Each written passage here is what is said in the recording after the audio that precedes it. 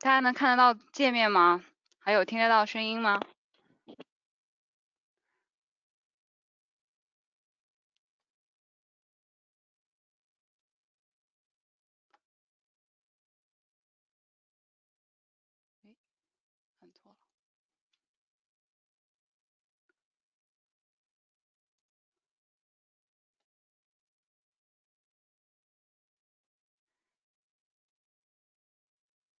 哎，好的，那没问题。那我们准备开始了。那首先还是做一个风险提示。那我们今天所有的 PPT 内容呢，不涉及您的财务状况以及风险承受能力。啊，您的资金也是完全是安全的，可以在 AFSL 查到我们的那个呃我们的注册号码。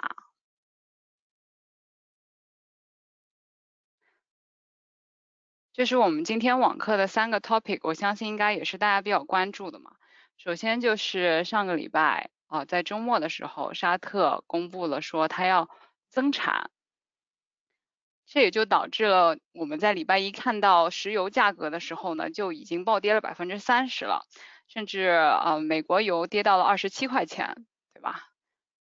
那星期一呢，正好我们公司啊，我们维多利亚州呢是放一个 Labor Day，所以说我不在办公室，感觉是错过了一个很好的机会。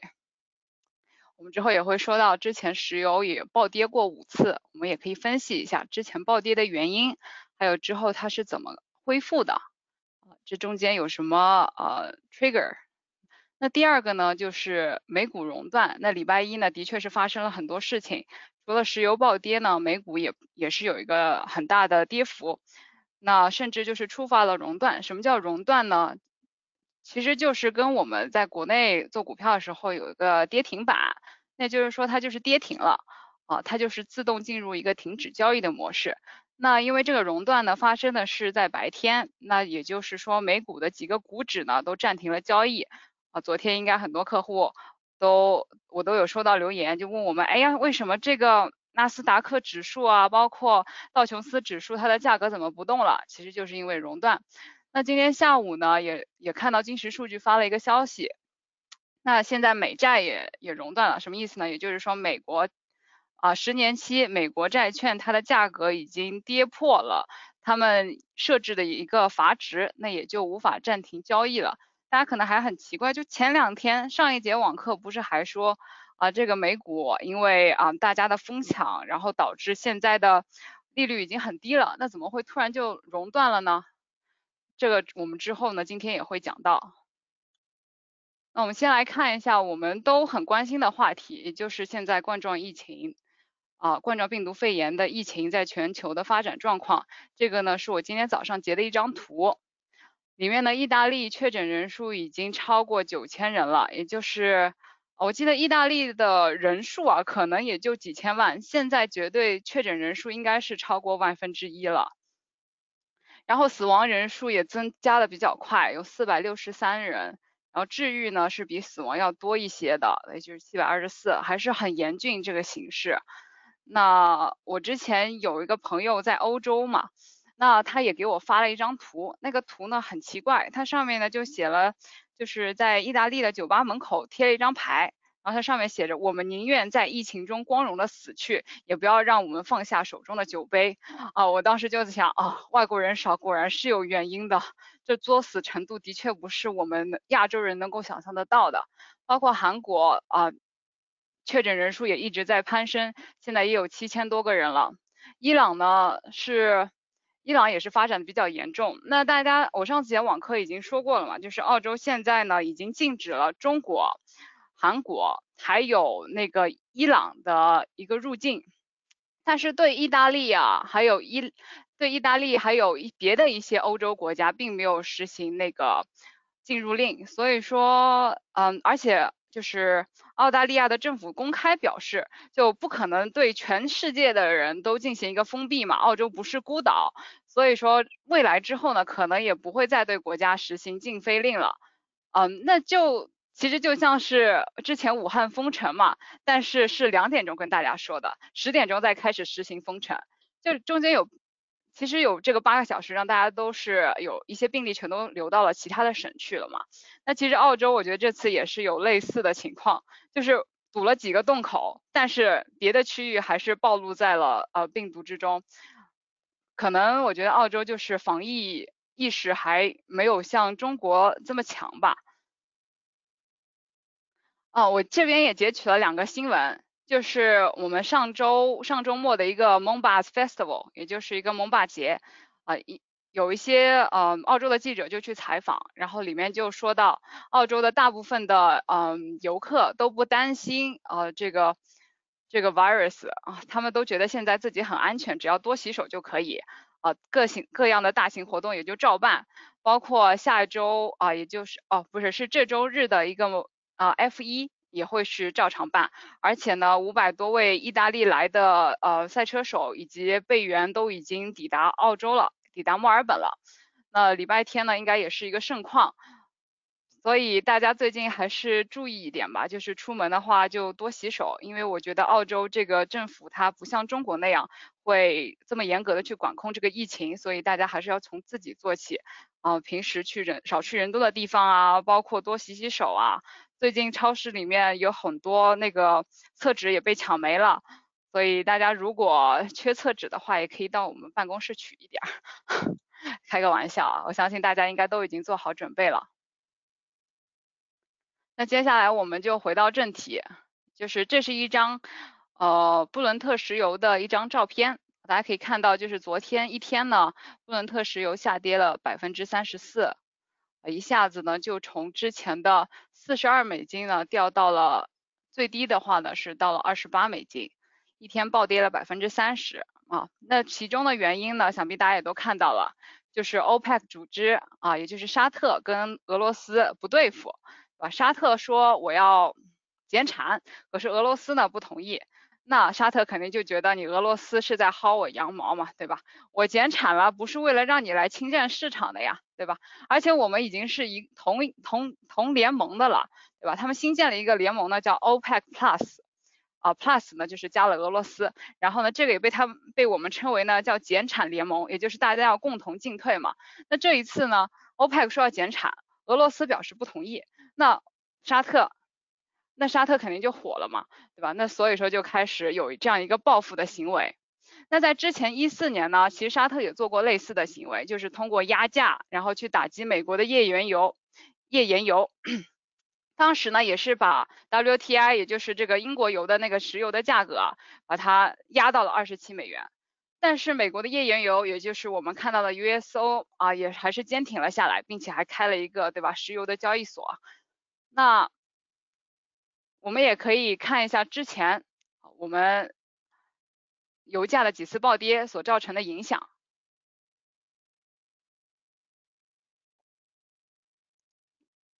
那第一次呢是九八年亚洲金融危机爆发的时候，我们可以看到，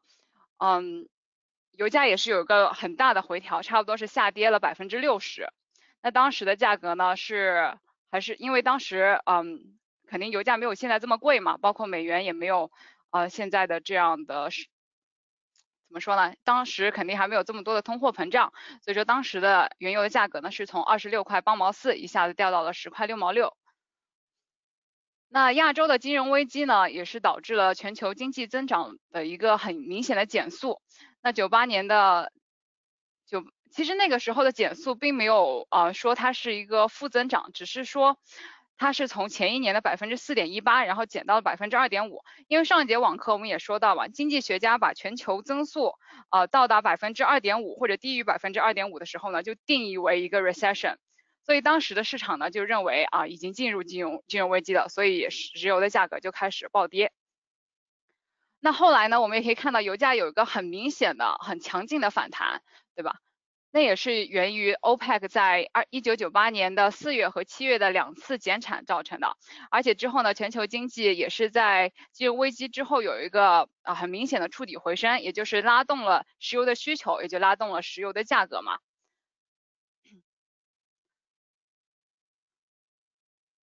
我们也可以看到，在很快就是在九九年的九九年的年底吧，差不多就已经回到了之前下跌的价格。所以说这一波下跌呢，它是下跌的时间很长，但是反弹的速度却很快。那第二次呢？第二次我们可以看一下时间是在二零零一年，那个时候，那个时候呢，美国是有一个互联网的泡沫，对吧？如果大家之前啊零一年有印象的话，就可以记得当时有很多美国上市公司，不管是什么公司后面加都要加个 dot com。啊，为的呢就是蹭一波这个互联网的热度，对不对？就跟我们之前前一段有有一段时间，就是每一个公司都要蹭一波共享单车或者说共享经济的热度是一样的，包括之前的 WeWork 啊，还有像是摩拜单车啊，或者说是 Uber 啊，呃，还有 Airbnb 之类的。但是在之前呢，像是那些后面标注 .com 的公司啊，他们其实并没有进入互联网，而只是呢把自己的名字改了而已。所以这就制造了很多的经济泡沫，这也就导致了在泡沫破裂的时候，全球经经济呢有一个很明显的减速。同时呢，那个那一年也发生了九幺幺事件嘛，导致美国的消费啊大致大量的减低，那大家经济预期也就降得很快。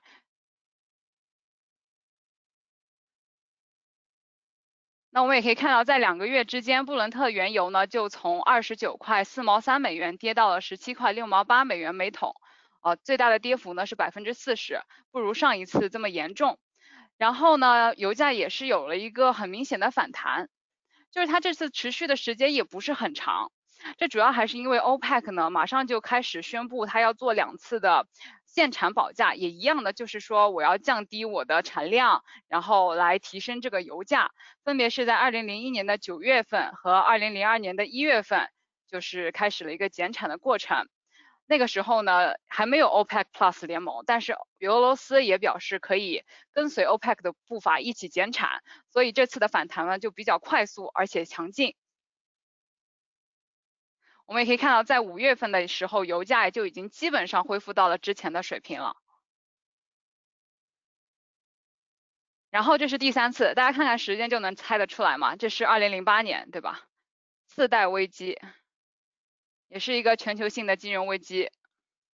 当时经济速经济增速呢，也是经历了一个断崖式的下滑，这对油价的未来的前景和预期都是造成了很大的影响的。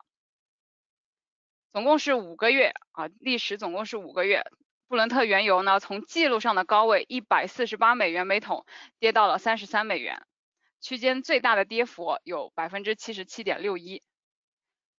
那之后油价慢慢回升的过程，大家可以看到是比较漫长的，因为这次 OPEC 呢，并没有像之前一样，就是说，嗯，这么迅猛，然后。这么迅猛的去做一个减产这么行动，而是把它分成了三次，而且每次减产的桶数呢也没有之前的两次多。那它是在零八年九月呢减产了五十二万桶，然后呢在零八年的十月减产了一百五十万桶，然后在十二月减产了二百二十万桶每日。这个过程我们可以看到，一开始它的减产的幅度是很小的，那油价的反弹呢也就是比较缓和。那随着它越来越多的减产呢，那油价也是有了一个不错的回升。那包括各国政府呢，也在进行一个积极救市的措施，实施量化宽松啊什么的。所以说之后的经济是有一个逐步的回啊回暖。那原油的价格呢，也是在零八年触底触底后迅速反弹到了一个零九啊。其实也不算迅速反弹吧，就是它在零九年五月份的时候呢，也就回到了六十美元每桶，之后在二零二零一一年的五月呢，又重新回到了一百二十美元每桶的高位。所以说这个时间线是跨度比较长的，从零八年到二零一一年，对吧？其实是有个呃三年这样子的一个时间。还有一次呢，就是在一四年的时候，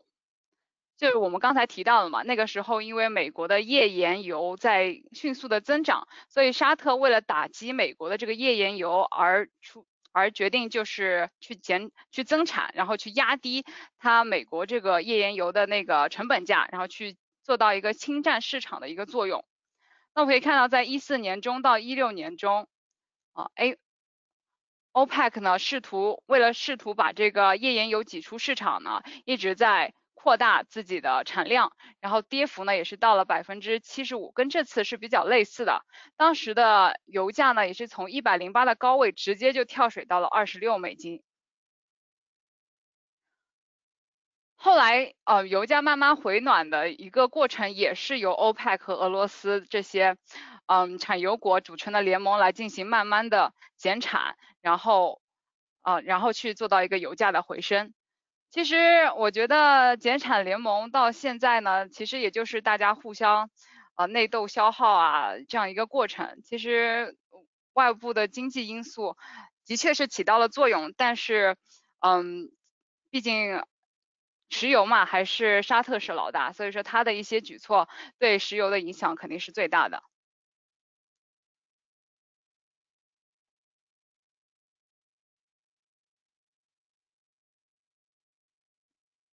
第五次呢，就是在二零一八年中有个中美贸易端，呃，中美中美贸易战升级，那个时候啊，大家对啊全球未来的经济预期也有了很大的下滑，我们也可以在石油上能够完美的体现出来，也是当时下跌了百分之四十五。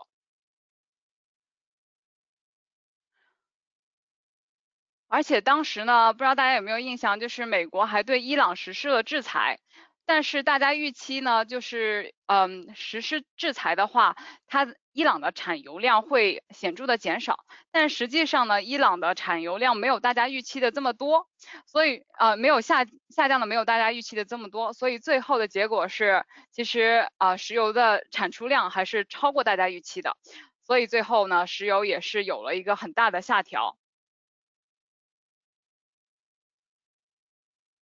但是之后呢，也就是随着贸易战的缓和，石油也就慢慢的回上来了。相信大家还是印象比较深刻的，因为就是发生在去年的时候嘛。所以我们总结一下，就是这五次影响油价上涨的两个因素，一个呢就是 OPEC 是否决定减产，还有一个呢就是全球经济是否有一个明显的复苏。我觉得 OPEC 呢，沙特还是很任性的，因为它能够左右石油的。一个走势嘛，我们可以啊看一下后面这张图，其中沙特它的它的产油的成本是最少的，这个呢是一张一六年华尔街日报啊对于各国生产石油的价格调查的结果，我们可以看到沙特产石油每啊每一桶呢是每一百桶吧，啊每一桶是对每一桶是差不多是九美金，当然这个是嗯。差不多是四年前的数据了，可能现在的价格会比这个价格稍微高一些，但是大家也能看得出来，就是产油啊，它的成本最高的呢是英国和巴西，接下来呢就是加拿大、美国啊，包括俄罗斯啊、伊拉克、伊朗还有沙特都是属于产产油的生产成本比较低的国家啊。那我们也可以对比一下现在的油价，现在的话就是布伦特原油现在的价格是差不多三十七块二，然后美国油的价格呢是三十三块六，这也是给大家做一个参考，能能让能让大家更好的知道下面的底部是在哪里，因为毕竟如果我们这个油价就是交易所的交易的那个油价低于它的成本价格的话，它肯定是不愿意去生产的，对吧？那不愿意生产之后呢，那就导致一个必然的。就是生产的呃桶数下降，那生产额下降的话，也就是 supply 下降了。那我们 demand 如果没有下降这么厉害的话呢，那它的油价也是会有一个反弹的。但是呢，问题就是现在沙特呢，它的因为产油的成本特别低，只有差不多九美金左右，那它就可以一直保持着啊这个生产这个增产的量去侵占侵占这个市场。所以嗯。有我看到有一些机构预期，就是沙特它可以维持这种这种生产状况，或者说这个价格啊，一到两年。所以当然了，现在这个价格也是一个比较低的底部。我自己的话呢，我也是在二十七块钱的时候买了一些美国油，当然我的仓位不是很重，大家可以作为一些作为一个参参考啊。当然它下面也是会有可能继续往下跌的空间的。那我们也对未来的油价做一个预测嘛。那首先呢，我们就从那个 demand 端来看，也就是需求。那第一个呢，就是受到现在全球疫情的影响，那我们现在很多投资者悲观的预期变成了现实，就是未来可能。啊，经济增速变成了负增长，那经济受到很大的压力，那石油的价格会进一步下跌，可能甚至跌破二十美金也说不定。那第二个呢，就是疫情得到控制，然后全球包括美国、中国、呃欧洲和澳洲一起开启量化宽松，也就是进行一个 QE，那给市场增加很多流动性，然后这样子的一个全球性的举措呢，是能够推动油价就是回到之前的五十几的位置的。那我们再从一个供给端，也就是 supply 的那一端来看，那第一个呢，就是新的减产协议没有达成，也就是现在发生的情况，OPEC 和俄罗斯没有达成一个很好的协议，而且呢，就是 OPEC Plus 有可能就是实名存实亡。啊，那油价肯定就是往欧往一往那个沙特的那个十块钱这样去走了嘛，因为沙特的话呢，可能就是啊占领了全部的市场，把所有竞争对手都挤掉了。这是第一种情况，那油价可能会崩盘。那第二种情况呢，就是虽然协议没有达成，但是呢，减产联盟呢还是包括就是伊朗，呃不是，包括就是沙特和俄罗斯，现在还是愿意合作。那我们正在啊商讨下一步的走势。那油价的波动呢，就会随着他们商讨的一个情况来进行一个比较大的波动。就像之前英国和欧盟出现的状况是差不多的，就那时候脱欧的话呢，也会根据。呃，跟欧洲的协议的进程来决定英镑之后的走势。那第三个呢，就是比较好的一个一个预测了，那就是 OPEC 呢和俄罗斯近期开始重新谈判啊，并且呢，啊达达到一个嗯 agreement 吧，达到一个比较好的一个呃减产的协议，然后大家同进退，就是跟之前一样，让油价呢就稳定下来，并且有个稳定的回升的。啊，一个状态出现。毕竟油价如果说在他们这种恶性竞争的情况下，所有人大家都是少赚钱的，对不对？大家都是赚不到钱的。所以说，呃，我觉得这种比较好的一种呃预测，可能它的成功性可能大一点。这就是为什么呢？我会在二十七块钱的时候去买了美国油，因为我觉得它的价格比较低一点嘛。其实都是差不多的，包括英国有也是一样。大家如果说对未来的这个经济预期啊，包括还有嗯对这个未来的疫情走势有信心的话呢，现在就可以去买一些。当然仓位也不要太重。那我们酌情去购买啊，按照自己的资金比例可以去配置一些。因为现在的价格呢，的确我们从之前的五次也能看得到，差不多二十几块钱呢，也就是石油的一个底部了。那我们就可以在这个底部呢持续的 hold 一段时间，可能是一到两个月，也有可能是半年。但是我们可以看到，如果说有一个比较好的消息，同意减产了，或者说经济有复苏，或者说是疫情得到控制的话呢，石油肯定是有一个比较迅速而且快速啊，而且很猛烈、很猛烈的一个反弹的。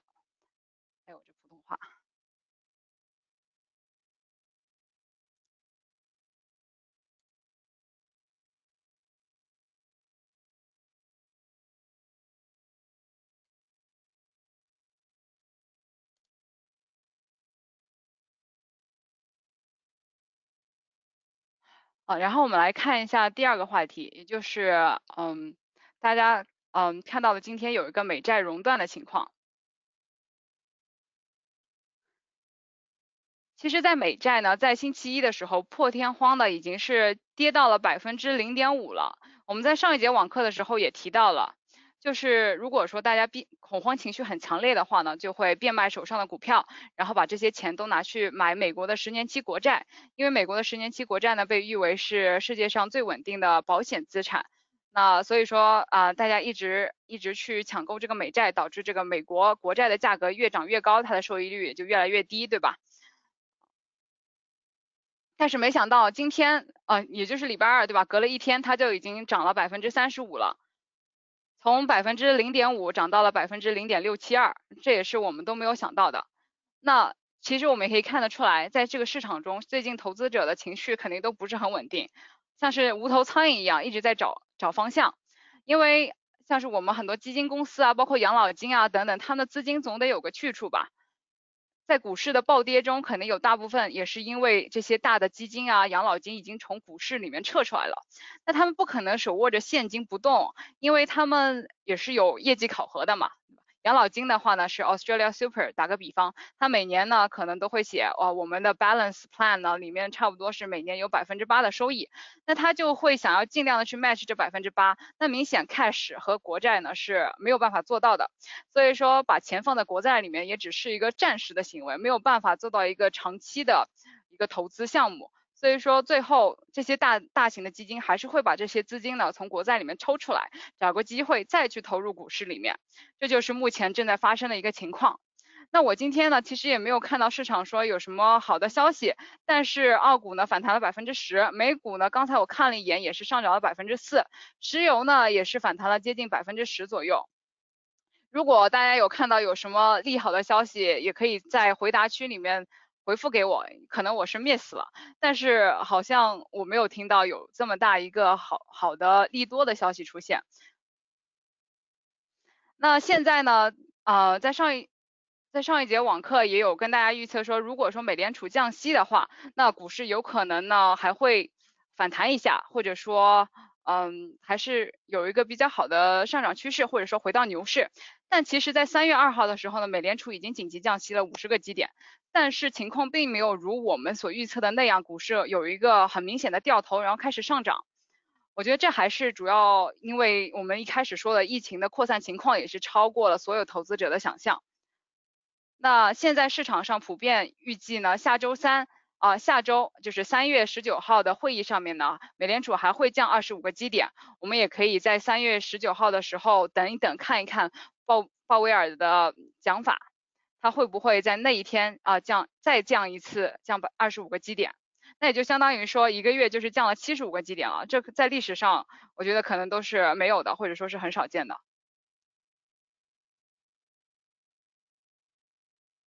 之前特朗普在一五年的时候说过，如果有一天道琼斯指数单日下跌了超过一千点。那么美国的总统就应该被装进加农炮里，以极快的速度射向太阳，不能有任何借口。我想特朗普在一五年说说到这说出这句话的时候，肯定没有想到会有今天这种情况出现。我给他算了一下，他要被装进加农炮射去太阳几次，至少得有两次。我这都是给他宽泛了算的，都没有把引线加进去，对不对？还对他比较好啊，都已经超过两次了，就是单日下跌。有一次最大的甚至达到一千四百十九点啊，这是我截取的是道琼斯指数啊，另外一次呢是一千四百七十七点。那我们看到呢，就是我刚才也说到，今天的美国呢，美国的股指也是有了一个百分之四这样子的反弹，但是嗯，对于我们来说，目前这个反弹它还是有可能是暂时的，因为疫情并没有得到一个明显的控制。啊，而且呢，也没有说有一个特效药即将出产，就是市场还是利空偏多吧。那现在这个上涨呢，可能是因为昨天跌的过多了，然后今天啊就是涨一下，呃，给大家有一个心理安慰吧。因为在这个时候呢，的确是有很多我认识的一些呃朋友啊，是想要去抄抄底的，他们会买一些之前跌的很严重的，但是很想要买的股票啊。这个呢，我觉得去做一个短期操作完全是没有问题的。但是如果说是想要长期持有的话呢，我觉得还是要敲响一个警钟的。毕竟在我一开始的开一开始做网课的时候，也有跟大家介绍过，呃，顾比的倒数倒数线法则，也就是在它的价格最低位旁边的左边两个更高的一个位置，就是给它画一条横线。也就是说呢，它的股指。如果说是现在这个位置的话，至少要上到这个位置，我们才能确认它是一个有效的上涨。所以在这个时候呢，我不建议大家去盲目的去，嗯，就是长期投资者的话，也不建议说现在就是一个最好的点位啊，大家去抄底吧。呃，我还是没有这种想法。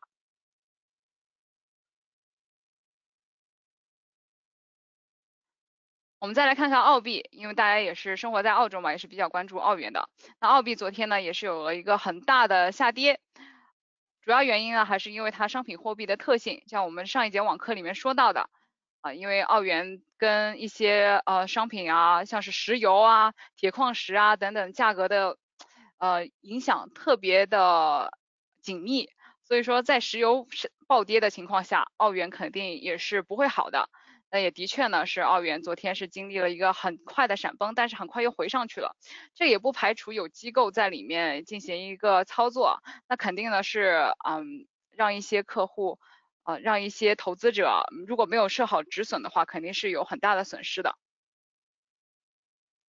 那现在的话呢，其实澳元就是跟我们去嗯判断指数也好，呃判断黄金也好。那现在澳元的价格，我们还是倾向于去看跌它的，因为澳洲这两天大家看新闻也发现，其实澳洲增长的人数也特别快啊，所以说在这个疫情没有得到明确控制之前啊，还是比较看空这个澳元。那我们再来说一下比较稳定的产品吧，就比方说是啊我们一直推荐给大家的澳纽。在昨天这么大的跌幅的影响下，澳纽的波动呢，其实在昨天也是不到百分之一点五的。那澳纽呢，这个产品的属性我们也跟大家讲过很多次了，主要就是澳洲跟 New Zealand 它的经济形态呢也是差不多的。那我们看一下之后的这张图，从二零一三年开始吧，那澳纽呢就一直维持在这个波段之间，差不多是在一点。零二到一点一四这个位置，那现在的价格呢是差不多是在一点零四，也是比较靠近下缘的。那之前呢有一段时间，就是一五年的时候呢，澳纽啊也到过，也到过一比一。但那个时候啊，就像澳币跟美金也是对过一比一，一是一样的情况。这种情况是不可能去持久的，因为我们从逻辑上来说，这种情况就明显啊解释不通。澳洲的经济明显是啊比 New Zealand 要好的，包括美国的经济体量也是明显比澳明显要优于澳洲的。就算澳洲的铁矿石出口啊再嗯再多，或者说利润再丰厚，可是跟美国这种有有科技，包括有实业的一些呃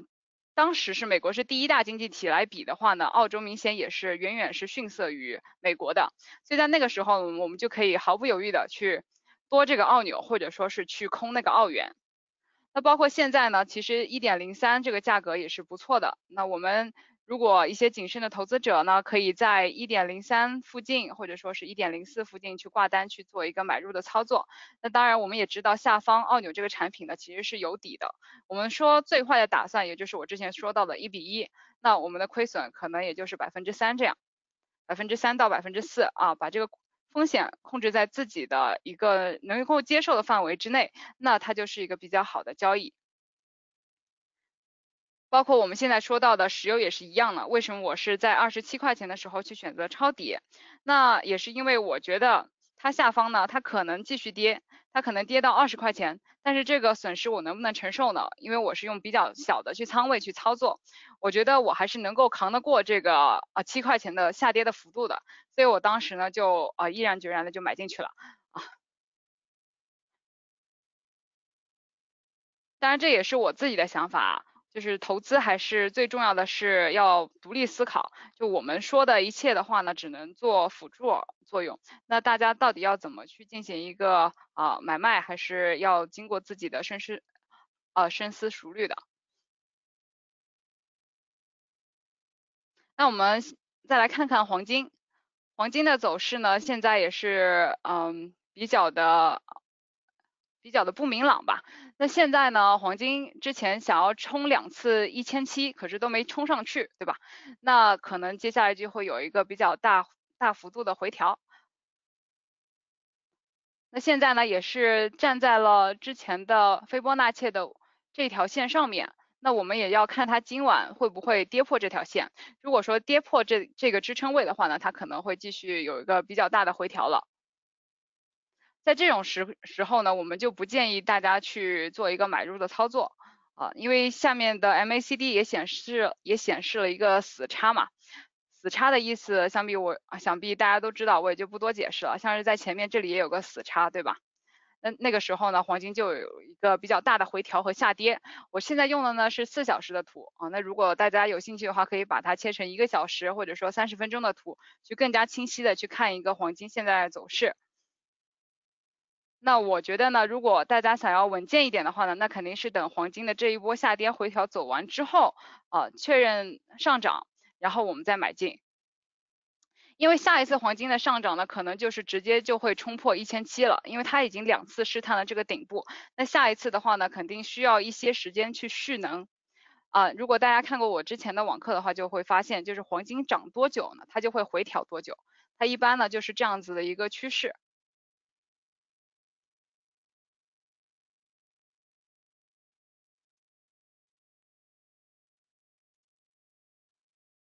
上一节课，上一节网课呢，也跟大家说了一下这个原油啊，之前跟大家画了两个支撑线嘛，当时就说这个石油呢在很关键的支撑位，如果说它跌破的话呢，可能就会加速下跌。当然我当时呢也不知道会发生呃现在这样子的黑天鹅事件，也就是沙特宣布增产。但是从技术面来说的话呢，当时的分析也的确是嗯有一些验证吧，当然没有。说，嗯，这么精确的预测到会发生这种黑天鹅事件，其实跟黄金是差不多的。我们用技术面呢，的确是可以辅助我们预测一下未来的走势，但是具体会发生什么事情，我们的确是很难去预测它的时间点，还有具体的事件。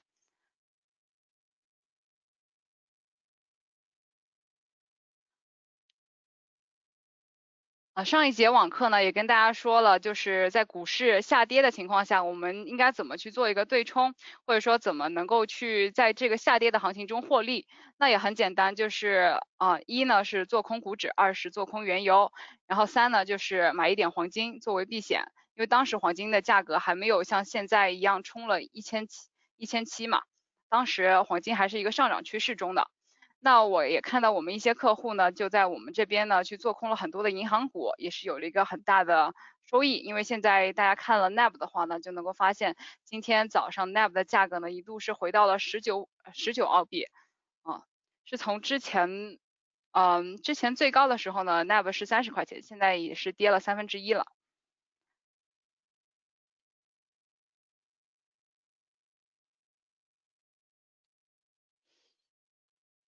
那我最近也是有跟一位国内炒股十多年的一个资深投资者在聊天，我就我就比较好奇嘛，因为我没有经历过之前零八年的时候那个熊市，所以我就问他你是怎么定义牛市和熊市的？他跟我说呢，牛市呢就是所有的利空都可以解读成利多，就包括降息啊、QE 啊这些都能够造成股市的上涨，但是熊市呢就是所有的利多都可以被解读成利空，反而就是出的利多越多。股市却一直一蹶不振，就一直在跌，啊，这是他给我的回答。所以我们现在到底是在牛牛市还是熊市，还是要大家自己去决定了。那大家也可以看到，现在指数已经跌了百分之二十，最近收到最多的问题就是股市能不能抄底。那我之前也其实也说过了，如果说大家去做一个短线的交易的话呢，应该是没有什么问题的。那长线投资者的话呢，如果说您对这个股票十分有信心的话呢，或者说你有这个耐心去 hold 它个半年，或者说是一年两年的，那我觉得也是没有问题的。现在慢慢的去抄底，但是如果呢说您既不是短线投投资者，也不是那种长线投资者，而是想做一个中长线或者中短线的投资的话，现在可能就不是一个很好的时间去抄底。那对于这类投资者呢，肯定是呃在股市有一个企稳的时候才能够进场。我说的长线投资者，就可能他的投资的周期跟巴菲特是差不多的，就是至少是五年、十年起的。那巴菲特呢？我看了一下他上呃上节网课也跟大家说过，我看了一下他的财报嘛，他在上呃他在财报里面也提到他买了一些能源股吧，他准备配置一些能源股。那现在呢，呃像是石油这样子的下跌，那现在的能源股。那价格肯定也是一蹶不振嘛，我觉得我怀疑啊，巴菲特可能昨天在呃能源股大跌的时候已经出手了。当然他的投资的周期比较长，就是我们一般的投资者可能并不会像他这样去做一个投资，毕竟巴菲特永远是少数嘛，大部分的投资者也就是嗯，也就是做一个呃短长啊或者是中短的一个投资。那大家在这个时候的确是跌了百分之二十，啊，那我们可以关注的领域呢，就可以从医疗、基建、零售和农业开始看，啊，就是短期的话，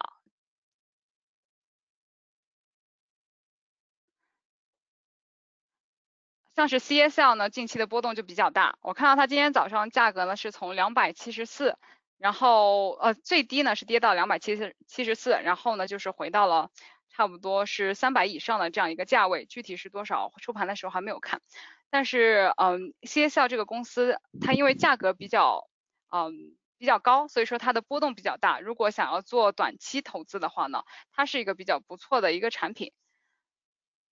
那像是另外的一些呃方向啊，像是基建啊、零售和农业这些公司，就可以去让大家去做一个比较长线的投资去配置。那我自己呢，也是买了一些旅游行业的公司，就是我之前一直很喜欢的 WEB，我是在八块九毛二买的，然后呢，它今天就跌到了六块多，对吧？然后我的确是又补了一点。其实大家现在。不管是在什么价格，嗯，买这个买这个银行也好，买这个旅游行业也好，其实都是买在我的比我的价位要好的。啊，因为 Web 这个公司呢，我之前网课也跟大家说过好几次，就是我自己特别看好这个公司，所以我认为我有有这个有这个信心啊，去给他拿一个比较长的一个时间周期，所以我会在它跌的时候继续补，这样子。那如果说您跟我不一样的话，就是说您对这个公司不是很了解，然后也没有这么这么长的时间周期，或者说也不是对他这个公司这么有信心的话，那之后呢，他可能如果继续往下跌的话，你可能就承受不住了，可能就是要离场了。我们说，如果股市啊真的就是之前啊又下跌了的话啊，那那个时候呢，可能现在去抄底也就是得不偿失，反而会越抄啊越越失落吧。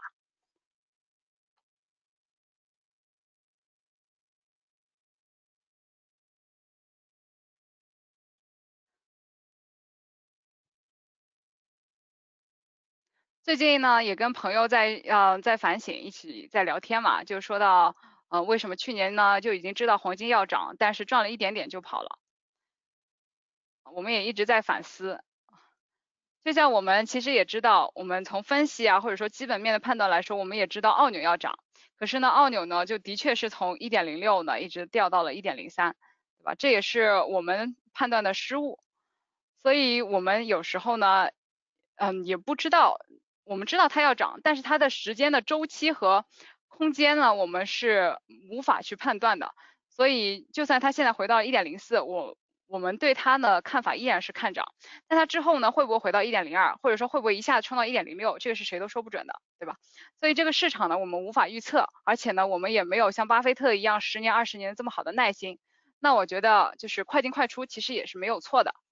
像我们这些呃比较小的投资者的话呢，其实也算是在金融这个食物链里面的底端了，对吧？永远不可能跟机构啊他们去比拼的嘛，对吧？那我们就是猎豹眼中的兔子，镰刀手下的韭菜。那我们能够做的呢，就是时刻警惕黑天鹅，对吧？我们带好止损，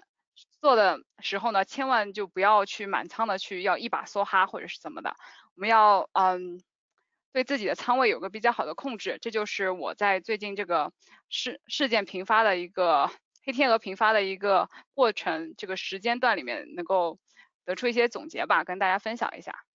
就嗯，不管是有没有黑天鹅，不管是之后的前景是好还是不好，我们都要警惕这一点。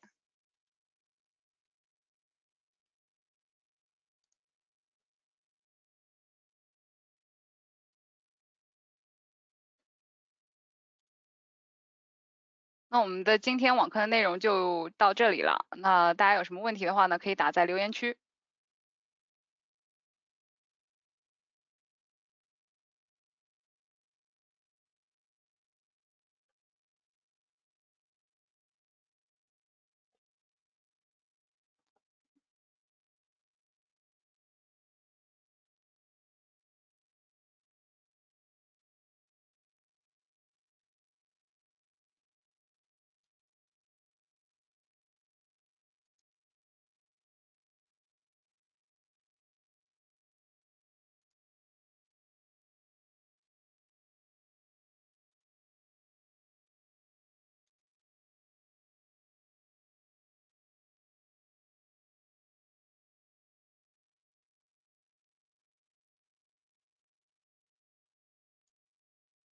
黄金还能买吗？黄金的确是，嗯，怎么说？现在这个价，现在这个价位可能还不还没有这么合适。就像我之前说的，现在是有 MACD 的死叉嘛，我们在死叉的那个时候去买涨黄金是不明智的。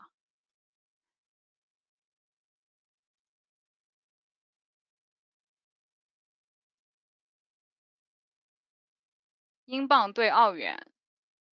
可以看一下。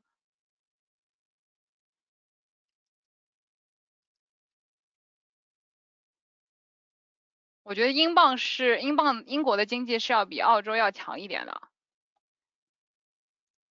而且英镑不像澳洲这样是受商品价格影响特别严重的国家，因为澳币嘛毕竟是一个商品货币，如果说是石油的暴跌啊，包括铁矿石需求的暴减，啊，当然现在可能也不太会，因为上节课也说过嘛，就是中国现在有一个。嗯，三十五万亿的一个基础项目的一个嗯规划，那之后铁矿石需求可能还是会存在，但是从另外一方面来说，可能英镑的价格会比澳币要更好、更稳一些。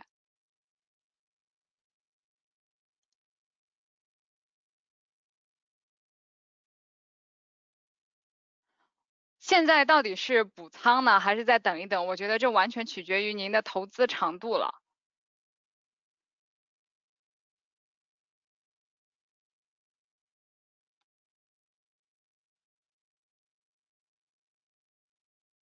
如果您是真的是那种巴菲特那那类型的投资者的话，您现在买任何股票，我觉得都是可以的，只要它是 ASX 一百以内，然后你觉得它嗯就是倒闭的风险比较低的话，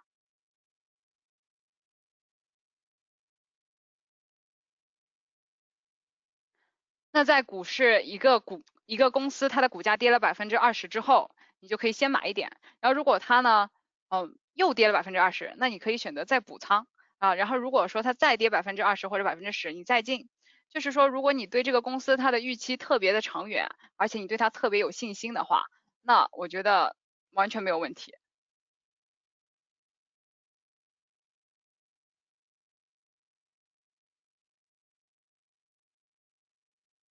那半年左右，我觉得现在形势还不是很明朗，我不建议您去嗯做一个抄底。或者说，就算您要去抄底，那您也必须得带好一个止损。就如果说它价格跌破了什么位置，就必须得平仓。因为现在其实，嗯，当时零八年金融危机的时候，股市直接是跌了一半的，现在是跌了百分之二十。呃，如果真的是金融危机寒冬已至的话，那可能还有百分之三十的空间。那这个时候，嗯，任何的太过乐观或者说太过乐悲观都是。都是不正确的，因为现在还有一个疫情的一个加速记载。如果把疫情抽出去的话，那现在情况还不会，还会不会有这样的糟糟糕呢？肯定是不会的嘛。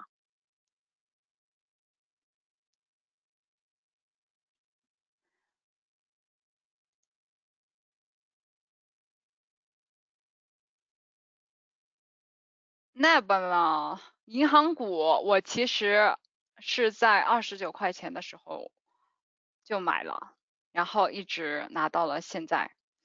因为我当时买银行股的时候呢，想的呢就是我准备呃就是拿它的股息，所以我不是很 care 它价格的波动。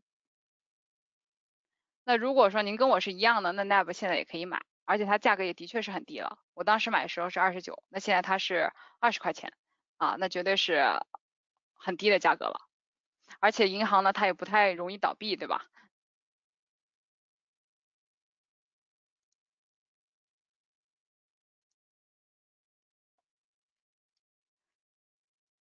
？A 五零我还是很看好的，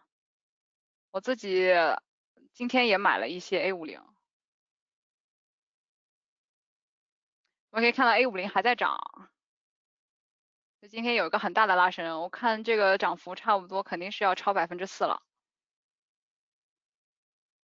因为中国现在是全世界唯一一个我们可以说疫情呢是控制住的国家，那对比别的欧洲啊。还有美国啊，还有澳洲、日本、韩国等等这些未知的话，欧中国可以说是一个比较确定的市场了。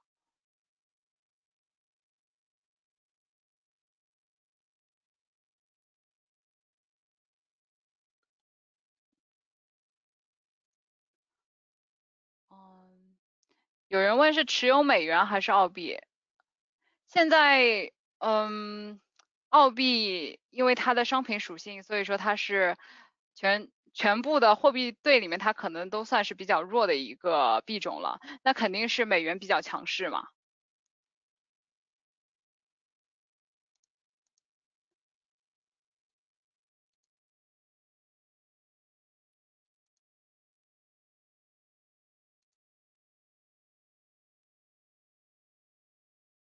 其实大家最近也可以看一下，嗯，农业股啊，就是我客户也比较呃推崇的一个公司，叫 CGC。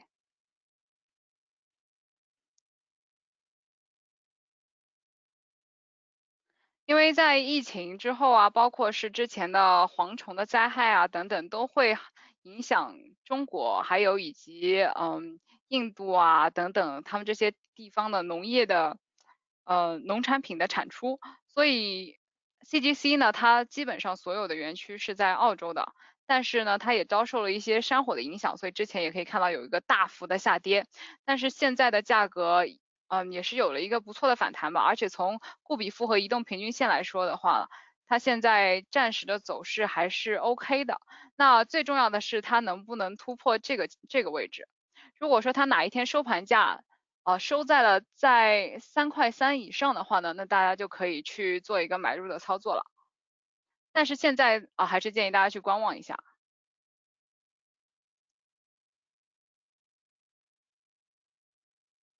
NAN 和 AN，NAN 的话呢是做防治交叉感染的，AN 呢是做那个防护手套，还有一个防护服的，很难说哪一个更好。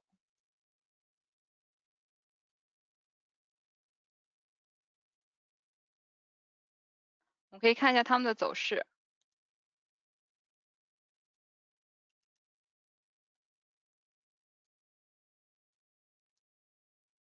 从走势上也看不出哪一个更好一点。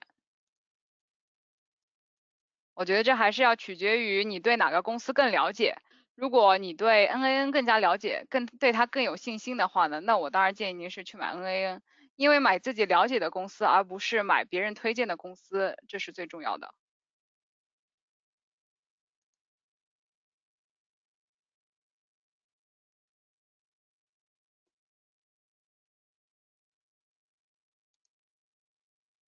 那也差不多九点了，那我们今天的网课就先到这里了，谢谢大家的参与。